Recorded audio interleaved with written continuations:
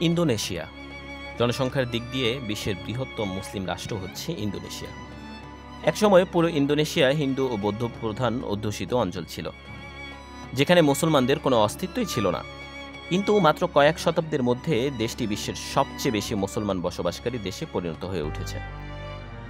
দেশটিতে বিয়ের জন্য হজ পালন করা বাধ্যতামূলক। দেশটির নারীরা খুবই ধার্মিক।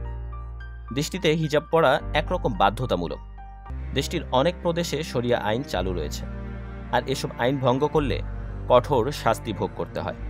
কিন্তু দর্শক, আশেপাশে কোনো মুসলিম দেশ না থাকা সত্ত্বেও দেশটি কীভাবে হিন্দু ও বৌদ্ধ প্রধান দেশ থেকে মুসলিম দেশে পরিণত হলো, তা জানাব আজকের ভিডিওতে। বিস্তারিত জানতে ভিডিওটি একটুও না টেনে শেষ পর্যন্ত দেখতে থাকুন। আর নতুন দর্শক হয়ে থাকলে চ্যানেলটি এখনই সাবস্ক্রাইব করে পাশে থাকুন। বন্ধুরা, ইন্দোনেশিয়া সম্পর্কে জানার আগে ইন্দোনেশিয়া বলতে কি বোঝায়? চলুন, তা একটু জেনে নেওয়া যাক। ইন্দোনেশীয় ভাষাতে ইন্দো মানে হচ্ছে হিন্দু এবং নেশিয়া মানে হচ্ছে দ্বীপপুঞ্জ। অনেক ঐতিহাসিক এ অঞ্চলকে হিন্দুস্থানের পূর্বাঞ্চলীয় দ্বীপপুঞ্জ হিসেবে পরিচয় দিয়েছেন। কারণ এই ইন্দোনেশিয়াতে পূর্বে অনেক হিন্দু বসবাস করত। দেশটিতে এখনও অনেক পুরাতন প্রত্নতাত্ত্বিক হিন্দু মন্দির রয়েছে। খ্রিস্টীয় ঊনবিংশ শতাব্দী থেকে এ অঞ্চলটি ইন্দোনেশিয়া হিসেবে পরিচিতি লাভ করে। ভৌগোলিকভাবে এ অঞ্চলে বড় ছোট মিলিয়ে প্রায় সতেরো থেকে আঠারো হাজার দ্বীপ আছে। কিন্তু এর মধ্যে মাত্র নয়শো বাইশটি দ্বীপে জনবসতি রয়েছে। যেখানকার গড়ে পঁচাশি শতাংশ জনগণই মুসলিম। বন্ধুরা, ইন্দোনেশিয়া সম্পর্কে আরেকটি মজার তথ্য হল, দেশটির প্রধানমন্ত্রীকে যদি জিজ্ঞেস করা হয়, দেশটির দ্বীপের সংখ্যা কত? তার সঠিক হিসাব দেশটির প্রধানমন্ত্রীও দিতে পারবে না। কারণ পুরো ইন্দোনেশিয়া গঠিত হয়েছে হাজার হাজার দ্বীপ একত্রিত হয়ে। ইন্দোনেশিয়াতে এরকম অনেক দ্বীপ আছে, যেখানে এখনও মানুষের কোনো পদচারণা হয়নি। বৃহৎ এই অঞ্চলে ইসলামের আগমন ঘটেছিল কোনো যুদ্ধ বিগ্রহ এবং তীর তলোয়ারের ছাড়াই। ইতিহাসে বিকৃত উপস্থাপনকারী অনেকে জোর গলায় দাবি করে, ইসলাম প্রতিষ্ঠিত হয়েছে যুদ্ধ বিগ্রহ এবং তলোয়ারের জোরে। কিন্তু আপনি ইন্দোনেশিয়ার দিকে তাকালেই তা বুঝতে পারবেন। ইন্দোনেশিয়া অঞ্চলে ইসলামের আগমন তাদের এই দাবিকে মিথ্যা প্রমাণিত করে। বিন্দুমাত্র রক্তপাত ছাড়াই পুরো ইন্দোনেশিয়াতে ইসলামের আলো ছড়িয়ে পড়ে। ইন্দোনেশিয়ায় ইসলামের আগমন ঘটেছিল প্রায় আট থেকে নয়শো বছর আগে। ভৌগোলিকভাবে গুরুত্বপূর্ণ এই দেশটি প্রাচীনকাল থেকেই মশলা উৎপাদনের জন্য খ্যাতি ছিল বিশ্বজুড়ে, যার ফলে দলে দলে আরব ব্যবসায়ীরা এ অঞ্চলে আসতে থাকে। আর এই ব্যবসায়ীদের মাধ্যমেই মূলত ইন্দোনেশিয়ায় প্রথম ইসলাম প্রচার শুরু হয়। আরব ব্যবসায়ীগণ ও ভারতের গুজরাট প্রদেশ থেকে আসা মুসলমানরা এ অঞ্চলে আগমনের পর ইন্দোনেশিয়ার সম্ভ্রান্ত পরিবারের মহিলাদের সঙ্গে বৈবাহিক সম্পর্ক স্থাপন করেন, যেটা এই অঞ্চলে ইসলামকে সমাজের গভীরে মজবুত করার ক্ষেত্রে খুবই গুরুত্বপূর্ণ অবদান রেখেছে। দ্বাদশ শতাব্দীতে ইন্দোনেশিয়ার মধ্য জাভা রাজ্যের রাজার সঙ্গে মুসলিম রাজকুমারী আত্মাসাম্বিনার বিবাহ ছিল এক্ষেত্রে একটি বিরাট মাইফলক এই বিদুষী সুন্দরী মুসলিম রাজকুমারী শর্ত দিয়েছিলেন তাকে বিয়ে করতে হলে আগে জাভা রাজ্যের রাজাকে মুসলিম হতে হবে। কারণ এই রাজকুমারী ছিল মুসলিম, তার কথা অনুযায়ী রাজা ইসলাম গ্রহণ করেন জাভা রাজ্যের রাজার ইসলাম গ্রহণের মধ্য দিয়ে সূচনা হয় একটি নতুন ইসলামী বসন্তের। ইন্দোনেশিয়ার এই রাজা ইসলাম ধর্ম গ্রহণ করার ফলে জাভা দ্বীপের রাজকীয় ধর্ম হয়ে ওঠে ইসলাম। রাতারাতি বদলে যেতে থাকে হিন্দু ও বৌদ্ধ অধ্যুষিত এই দ্বীপের জনমিতি। জাভা দ্বীপের রাজা ইসলাম গ্রহণের ফলে তার প্রজারাও ইসলাম ধর্ম গ্রহণ করতে থাকে। যার ফলে ইন্দোনেশিয়ার সবচেয়ে জনবহুল এই দ্বীপটির প্রায় সকল মানুষ মুসলিম হয়ে যায়। এ সময়ের মধ্যে ইন্দোনেশিয়ার জাভা রাজ্য থেকে ইসলাম ছড়িয়ে পড়তে শুরু করে আশেপাশের দ্বীপগুলোতে এবং এক একটি দ্বীপে গড়ে উঠতে শুরু করে এক একটি ছোট ছোট ইসলামী রাজ্য। অতপর পনেরোশো এগারো খ্রিস্টাব্দে পর্তুগালের উপনিবেশের কয়েক মাস পূর্বে এ রাজ্যগুলো একীভূত হয়ে যায়।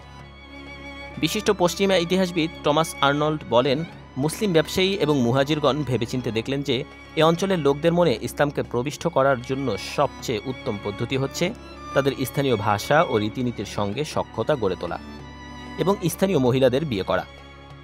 এবং ইন্দোনেশিয়ায় এসব মুসলিম ব্যবসায়ীরা আসার পর ঠিক তাই করেছেন, যার ফলে তারা ইন্দোনেশিয়ার নেতৃস্থানীয় ব্যক্তিদের মনে ইসলামের সুমহান আদর্শ গেঁথে দিতে সক্ষম হন এবং তারা একসাথে কাঁধে কাঁধ মিলিয়ে জীবনযাপন শুরু করেন। এমন সক্ষতা স্থানীয় ব্যক্তিদের পরস্পরের মধ্যেও খুব একটা দেখা যেত না।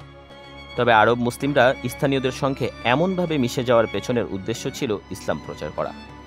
এ অঞ্চলের মূর্তি পূজারী জনপদের মনে ইসলামকে সহজে প্রবেশ করানোর জন্যই তারা ইন্দোনেশিয়ার স্থানীয় নারীদের বিয়ে করার পন্থা বেছে নিয়েছিলেন।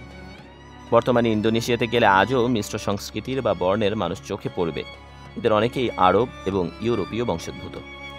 কেন ইসলাম প্রচারের ঘাঁটি বলা হয় ইন্দোনেশিয়ার জাভা দ্বীপকে ইন্দোনেশিয়ার সবচেয়ে সুন্দর ও সমৃদ্ধশালী দ্বীপ হচ্ছে জাভা। প্রতি বছর হাজার হাজার পর্যটক দ্বীপটি ভ্রমণ করে থাকে। আর জাভা দ্বীপটিতেই ইন্দোনেশিয়ার রাজধানী জাকার্তাতে অবস্থিত। আর এই দ্বীপটি থেকেই পুরো ইন্দোনেশিয়াতে ইসলাম ছড়িয়ে পড়ে। ইন্দোনেশিয়া ইসলাম প্রচারের ক্ষেত্রে ভারতীয় উপমহাদেশের মুসলিমদের ভূমিকাও কম নয়। ভারত, বাংলাদেশ এবং আরব থেকে আসা মুসলিমরাও ইন্দোনেশিয়ায় ইসলাম প্রচারে গুরুত্বপূর্ণ ভূমিকা রেখেছে। এমনকি ভারত উপমহাদেশের অনেক পীরাউলিয়ার কবর আজও ইন্দোনেশিয়াতে টিকে আছে। জাভার পশ্চিমাঞ্চলে মুসলিম শাসক রাজা হাসানুদ্দিন প্রতিষ্ঠা করেছিলেন বান্তাম রাজ্য। অপরদিকে জাভার পূর্বাঞ্চলে সানাকানি নামের এক সামরিক ব্যক্তি প্রতিষ্ঠা করেন মাতরাম রাজ্য। এভাবেই জাভা দ্বীপটি হয়ে ওঠে এ অঞ্চলে ইসলাম প্রচারের প্রধানতম কেন্দ্র। আর জাভা দ্বীপ থেকেই ইন্দোনেশিয়ার অন্য দ্বীপগুলোতে ইসলাম ছড়িয়ে পড়তে শুরু করে। এভাবেই চলতে থাকে ইন্দোনেশিয়া অঞ্চলে ইসলামের যাত্রা, এক দ্বীপ ক্রমান্বয়ে ছড়িয়ে পড়ে আরেক দ্বীপে। এবং কোনো রকম যুদ্ধ বিগ্রহ ছাড়াই এই বিশাল অঞ্চলে ইসলাম ছড়িয়ে পড়েছিল তার সুবিমল আহ্বান নিয়ে। মুসলিম ধর্মপ্রচারক এবং ব্যবসায়ীদের সুন্দর জীবনাচার এবং উত্তম আচরণ দেখে এ অঞ্চলের লোকদের মনে ইসলাম গেলে নেয় স্থায়ী আসন, যার ফলশ্রুতিতে আজকে ইন্দোনেশিয়া লাভ করেছে সর্ববৃহৎ মুসলিম জনপদের খেতাব। জাভা দ্বীপের ইসলামের আলো ছড়িয়ে পড়ার পর তার জোয়ার এসে পৌঁছায় সুমাত্রা দ্বীপে। সুমাত্রার হাজার হাজার মানুষ হিন্দু ধর্ম থেকে ইসলাম ধর্ম গ্রহণ করতে থাকে। সুমাত্রার শাসকদের ঐকান্তিক প্রচেষ্টা এবং দ্বীপটির উপকূলীয় অঞ্চলে ইসলামকে মজবুত করার মধ্য দিয়ে ধীরে ধীরে ইসলাম ছড়িয়ে পড়তে থাকে দ্বীপসমূহের অভ্যন্তরে।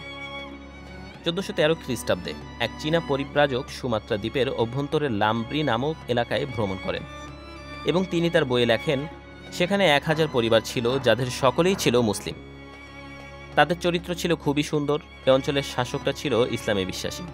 এভাবেই সুমাত্রার মধ্যভাগ এবং পূর্বাঞ্চলে ইসলাম ক্রমান্বয়ে জায়গা করে নিতে শুরু করে।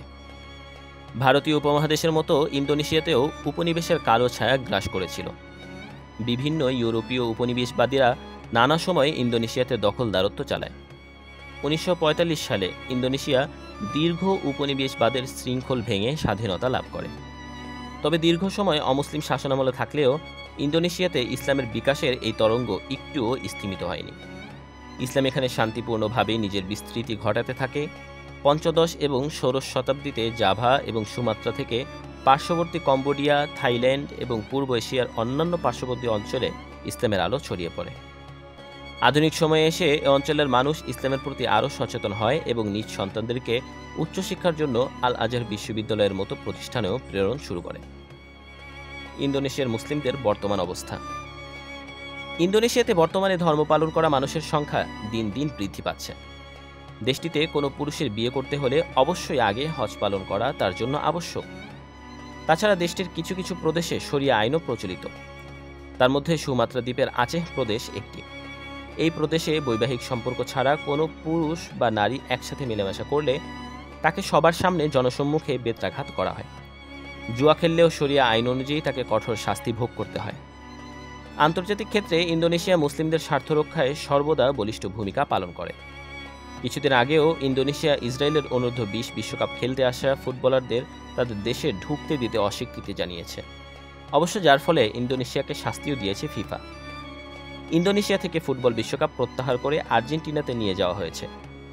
রোহিঙ্গা ইস্যুতে ইন্দোনেশিয়া আসিয়ানে বেশ জোরালো ভূমিকা লক্ষ্য করা গেছে। তো বন্ধুরা, পরবর্তী ভিডিওতে আপনারা কোন দেশটি সম্পর্কে জানতে চান, কি জানতে চান, তা জানান আমাদের কমেন্ট বক্সে সেই সঙ্গে যারা এখনও চ্যানেলটি সাবস্ক্রাইব করেননি সাবস্ক্রাইব করে পাশে থাকুন। দেখা হবে পরবর্তী কোনো ভিডিওতে। আল্লাহ হাফেজ।